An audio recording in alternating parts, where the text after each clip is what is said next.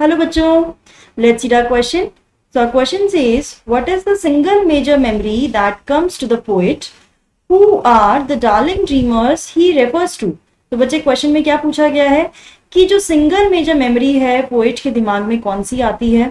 और उन्होंने darling dreamers किसको रेफर किया है? किसको बोलते हैं वह डार्लिंग ड्रीमर्स तो चलिए समझते हैं अपना answer the single major memory that come to the poet poet is of his mother when she used to look at him fondly before he would fall asleep.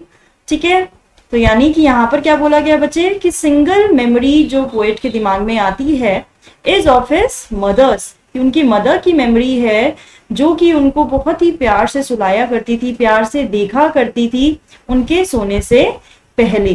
ठीक है? तो यानी यहाँ पर वो कौन सी मेमोरी याद करते हैं? अपनी मदर की मेमोरी याद करते हैं और वो किस तरीके से उन्हें सुलाया करती थी, उसको वो याद करते हैं।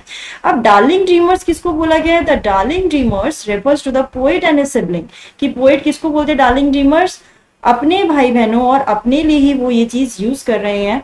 Who were put to sleep by their mother who love them right right कि उनके भाई बहनों को और उन्हें जो उनकी मदर है, वो इतने प्यार से सुलाया करती थी और इतना प्यार करती थी उन्हें और यही सबसे प्यारी मेमोरी पोइट के दिमाग में आती है और जितना प्यार पोइट की मदर उनसे करती थी और उनके भाई बहनों से करती थी, इसलिए उन्होंने उन्हें डार्लिंग ड्रीमर्स बोला गया है।